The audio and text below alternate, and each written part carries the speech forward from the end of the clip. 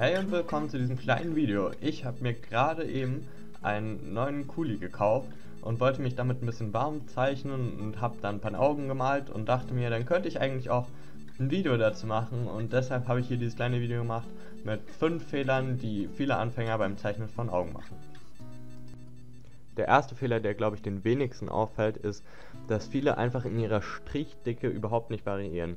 Ich habe das hier versucht ein bisschen zu übertreiben und habe dann halt in allen Schattenregionen halt relativ dicke und kräftige Linien gemacht und in denen, wo halt Licht drauf kommt, schon fast einfach die Linie weggemacht. Man sieht das auch bei Animes relativ oft, oft in den Augen, wo einfach dann die Begrenzungen, sage ich mal, einfach weggelassen werden.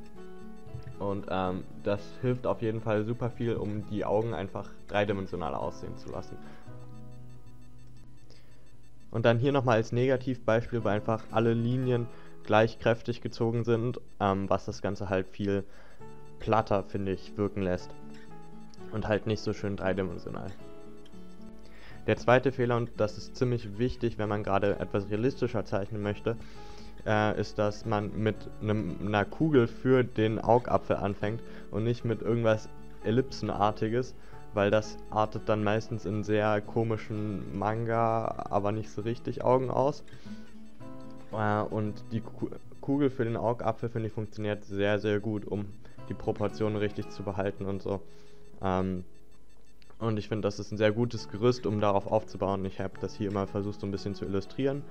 Ähm, und gerade weil man dann auch darin gut so die Iris und die Pupille halt im Zentrum von dieser Kugel ähm, halt positionieren kann, ist halt echt gut so als Guideline und so. Und gerade für Anfänger, die halt ein bisschen realistischer zeichnen wollen, ist das halt eine ziemlich gute Methode. Und hier habe ich dann ähm, nochmal versucht mit dieser komischen ellipsenartigen Form ähm, anzufangen und wie man sieht, kommt da so ein sehr komischer comicartiger Stil bei raus, der viele Leute dann halt, wie ich auch tatsächlich schon oft gesehen habe, daran hindert halt solche Augen zu malen die halt dann eher in diese realistischere Richtung gehen und halt überzeugender aussehen. Der dritte und wahrscheinlich einer der wichtigsten Fehler, die behoben werden müssen, ist, dass viele Leute einfach ähm, falsch schattieren, beziehungsweise halt sehr komisch schattieren. Beim Schattieren geht es eigentlich im Prinzip immer darum, ähm, harte Kanten und weiche Kanten halt abwechslungsreich zu gestalten. Und das habe ich halt hier versucht, indem ich halt immer, gerade mit Kuli kann man das halt so machen, ähm, eine Kante meiner Fläche immer abgrenze, die dann halt in die andere Richtung mit Strichen halt raus faden lasse, keine Ahnung. Ich hoffe, dass man das in der Skizze ganz gut sieht. Ähm, und ich versuche halt, das möglichst abwechslungsreich zu gestalten. Dadurch kriegt das Ganze halt auch viel mehr Textur, viel mehr Leben, sag ich mal. Ähm, und das ist auf jeden Fall sehr, sehr wichtig, auch was ähm, andere Sachen angeht, nicht nur Augen, sondern auch generell halt darauf zu achten, einen guten, einen guten Mischmasch zu haben zwischen harten und weichen Kanten. Und hier wieder mein Negativbeispiel. Ich habe das jetzt mit Kuli gemacht. Ähm, das kann man natürlich auch mit Bleistift machen. Das geht dann so ein bisschen Hand in Hand mit dem ersten Fehler, dass man halt nicht in seinen Linie, äh, Strichdicken variiert. Und zwar habe ich mir hier mein kleines Gerüst gezeichnet und dann habe ich mir einfach einen Bleistift gemacht, äh, genommen und so richtig schön weich darüber schattiert, alles so im fast gleichen Ton, ähm, keine Kanten oder irgendwas in die Richtung erkennbar. Ähm, manche nehmen dann sogar noch ihren Finger oder irgendein Tuch oder so und verwischen das Ganze. Ähm, wenn ihr das macht, bitte hört damit auf. ähm, guckt euch andere Videos an zum Schattieren oder so. Es ist auf jeden Fall, es ist es definitiv wert.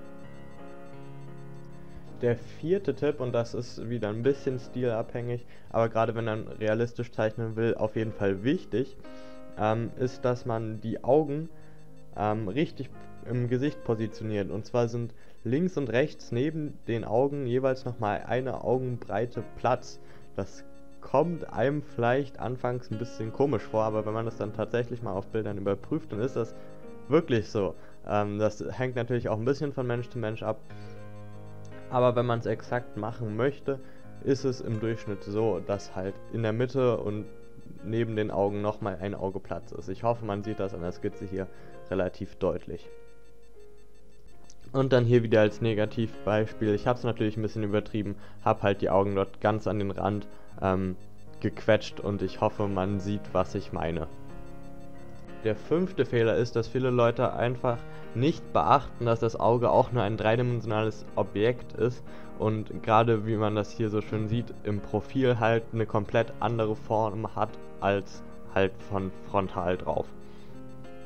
Wie genau man das dann halt im Profil malt, findet man am besten heraus, wenn man einfach ganz viele Bilder abmalt und halt aber auch aus anderen Positionen. Das gleiche gilt natürlich auch von, von ähm, oben, unten, schräg, links, rechts und so weiter.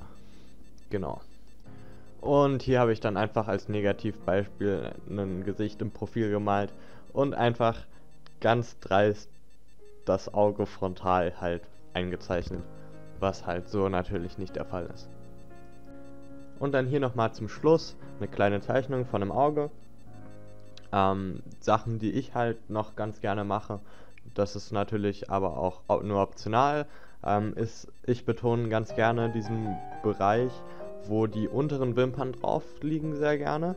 Ähm, ich hoffe, man sieht das hier in der Zeichnung ganz gut. Ich finde, das gibt dem Ganzen immer mehr, ein bisschen mehr Tiefe und keine Ahnung, ich mag das. Und außerdem ähm, male ich immer recht deutliche Tränensäcke, zumindest deute ich sie immer also eigentlich immer an. Und ich finde, das sieht ein bisschen besser aus. Muss man ähm, selber entscheiden. Und ich gehe immer recht sparsam mit Wimpern um, wenn ich Augen zeichne, weil ich finde, zu viele Wimpern können sehr, sehr schnell das Bild kaputt machen. Aber das ist, wie gesagt, auch bloß Sachen, die ich gerne mache. Und abschließend kann ich natürlich sagen, ähm, macht Studies von Augen. So mehr Augen ihr abmalt und aus dem Kopf malt und mit Augen, ähm, echten Augen vergleicht, ähm, desto besser werdet ihr oder Fotos von euren eigenen macht und die abmalt aus allen möglichen Positionen. Je mehr ihr Augen malt, desto besser werdet ihr. Das kann ich auf jeden Fall versprechen.